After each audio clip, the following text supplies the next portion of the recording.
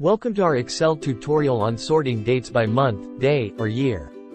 In this video, we'll explore how to organize your date data efficiently. We'll cover sorting dates by month, year, and day using Excel's built-in functions. Let's get started. Let's kick things off by learning how to sort dates by month only. Suppose you have a range of date values in cells A1, B5 that you want to organize. To achieve this, you'll need to use the month function and create a helper column. Start by typing equals month, B1, in the cell right next to your dates in column B. Once you've entered the formula, use the autofill handle to extend it down the column. This will apply the formula to each date, extracting the month values for sorting. Now, highlight all the month values in your helper column.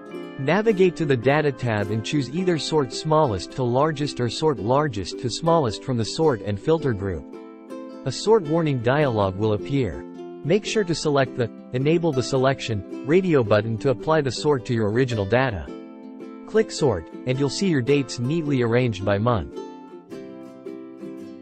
For sorting by year, you'll use the Year function. In your helper column, replace the equals month B1 formula with equals year B1. This will return the year portion of the date in B1, allowing you to sort by year instead of month.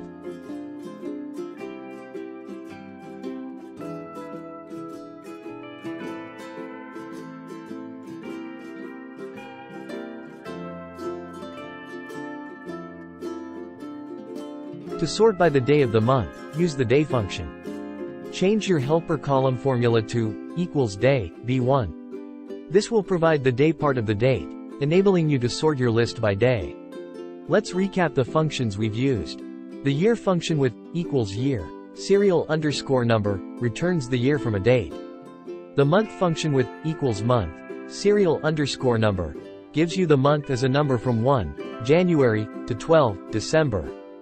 The day function with equals day, Date underscore value extracts the day, which is a number from 1 to 31. These functions are fundamental for manipulating and sorting date data in Excel. With these sorting techniques, managing your date data in Excel becomes a breeze.